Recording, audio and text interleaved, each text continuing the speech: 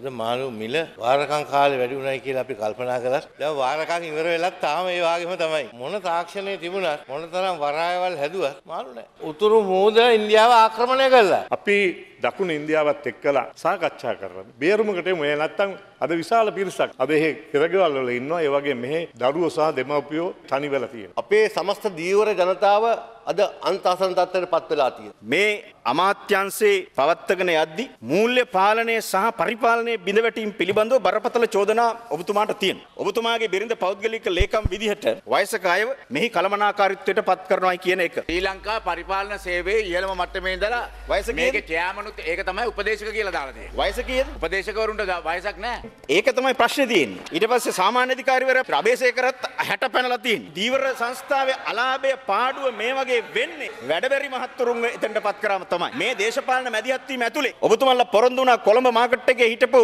වෙලෙන්දන්ට Peliyagoda market එකේ කඩේ දෙනවා කියලා. අද වෙනකන් අවුරුදු දෙකක් වේ ගිහිල්ලා තියෙනවා. සමහර අයට හම්බෙලා නැහැ. ගෙදර ඉන්න වැඩ කරන භාර්යාව කාන්තාව ලෑල්ලේ කියලා කුලියට හිටපු මිනිහට මන් දුන්නා. තමුන්නාස එන්න පෑලියකොට ගිහිල්ලා අහන්න මිනිස්සුන්ගේ කොහමද කියලා. එක කඩයක් දීලා නැද්ද ගෙදර වැඩ කරන කාන්තාවකට?